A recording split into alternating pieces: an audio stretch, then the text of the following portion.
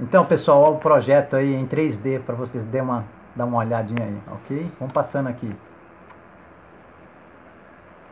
Ó, todas as dimensões, medidas, depois vai aparecer. Qualquer um, você só não monta se não, não quiser mesmo, porque está muito bem dimensionado aqui todas as peças. Vamos passando então, para nós ver as peças montadas aí, olha.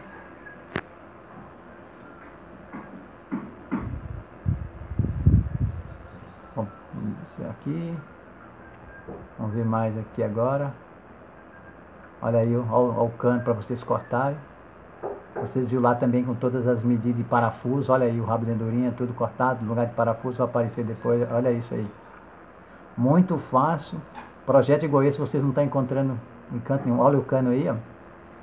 Rebaixado. Atualmente estou usando o cano da Nitro X1000. Tá ok? Que é um dos maiores canos que está tendo aí. Mas vocês usam o cano que vocês quiserem aí. Vamos ver mais aqui, ó.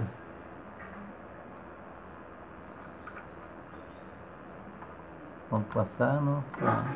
Olha isso aí, essa buchinha, o acabamento da ponta do cano lá. Lembrando que não coloquei rosca aqui, para vocês pode fazer rosca na ponta dos seus canos para colocar o supressor, tá? Mas aqui não vai ter rosca que eu não uso no meu. Olha lá em cima lá, ó, canto da tela ali, vou puxar embaixo aqui para vocês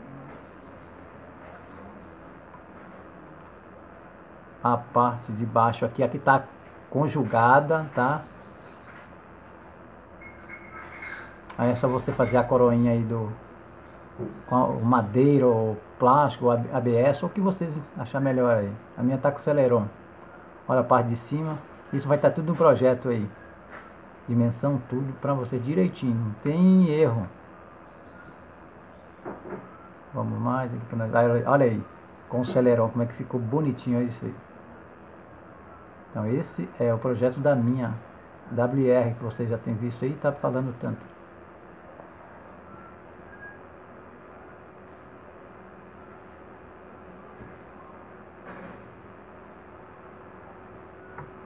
Olha aí também.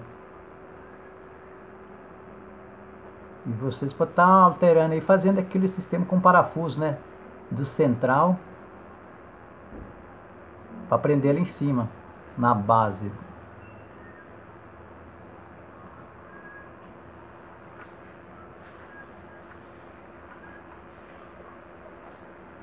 Aí você pode estar tá girando no 3D aí e ver o ângulo que vocês achar melhor para estar tá entendendo e mostrando para o seu torneiro aí, para o seu fresador.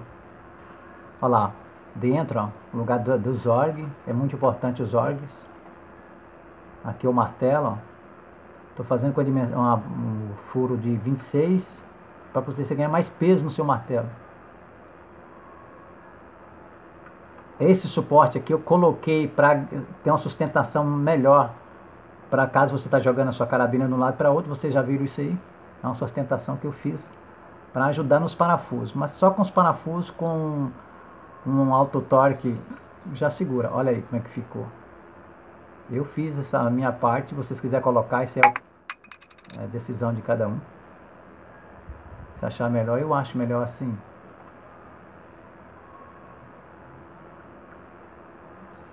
Vendo aí?